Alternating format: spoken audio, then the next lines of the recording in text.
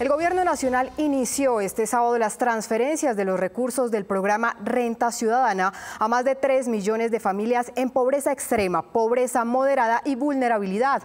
Los beneficiarios localizados en 466 municipios del país comenzaron a recibir transferencias que van desde los 150 mil hasta un millón de pesos cada dos meses, dependiendo de las condiciones de cada familia. Para conocer sobre los pagos, calcular el ingreso o saber si es beneficiario, puede acceder a la página de Prosperidad Social. Este nuevo subsidio se entrega a través del Banco Agrario.